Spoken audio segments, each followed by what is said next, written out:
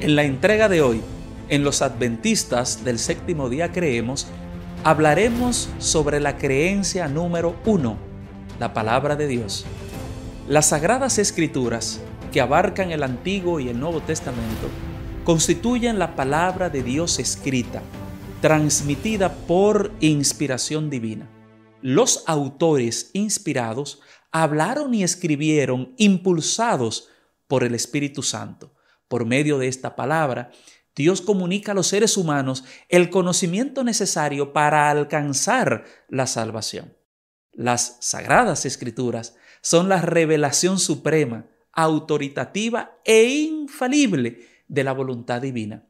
Son la norma del carácter, el criterio para evaluar la experiencia, la revelación definitiva de las doctrinas, un registro fidedigno de los actos de Dios realizados en el curso de la historia.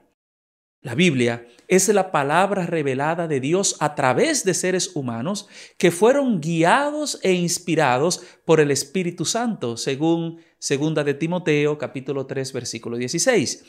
Tenían diferentes trasfondos sociales, culturales y religiosos, y eso se manifiesta en la forma como expresaron el mensaje.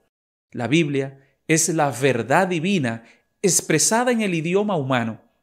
De otra manera, no hubiera forma de entender a Dios. La Biblia es una pequeña biblioteca de 66 libros, 40 autores y tomó aproximadamente un proceso de 1500 años para escribirse. Los libros de la Biblia no aparecen en orden cronológico, normalmente están por temas.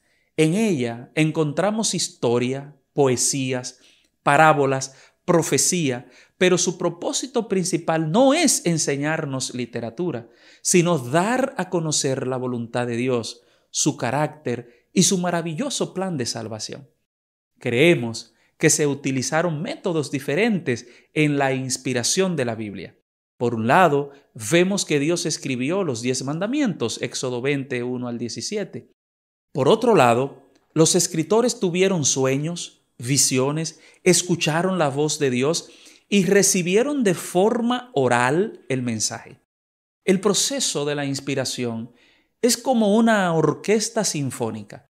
Hay diferentes instrumentos con funciones diferentes, pero al unirlos bajo una sola dirección y partitura, producen una sinfonía armoniosa. La Biblia es un libro paradigmático que ha sobrevivido al tiempo. Es el libro más vendido y reproducido de la historia de la humanidad. No es casualidad que cuando vino la revolución del conocimiento con la invención de la imprenta de Johannes Gutenberg, el primer libro impreso fue la Biblia, a pesar de que ha recibido feroces ataques para desaparecerla. Ha sido quemada, difamada, renegada por sus detractores y mal interpretada y aplicada por aquellos que dicen obedecerla, se mantiene siendo el libro de los libros, transformando las vidas de aquellos que entran en contacto con ella. Esta experiencia no se puede explicar, solo se puede experimentar, vivir a plenitud. La Biblia está dividida en capítulos y versículos. Debemos hacer el hábito de leer y meditar en por lo menos un capítulo diario y hacerlo con mucha oración. Al principio del movimiento adventista, nuestros pioneros aceptaron el postulado de la reforma protestante sola escritura. La Biblia sola se convirtió en la regla de fe y práctica de cada creyente. Sus decisiones, principios, valores, creencias, estilo de vida estaban basados en la Biblia. Se les conocía como el pueblo del libro. La Biblia es nuestra guía profética más segura. Como iglesia, el estudio de la Biblia nos ha dado un fundamento inamovible, nos ha mantenido relevante y con una identidad sólida. ¿Por qué es importante estudiar la Biblia? Elena de White nos comenta en El conflicto de los siglos, página 510. Bien sabe Satanás que todos aquellos a quienes pueda inducir a descuidar la oración y el estudio de las sagradas escrituras serán vencidos por sus ataques.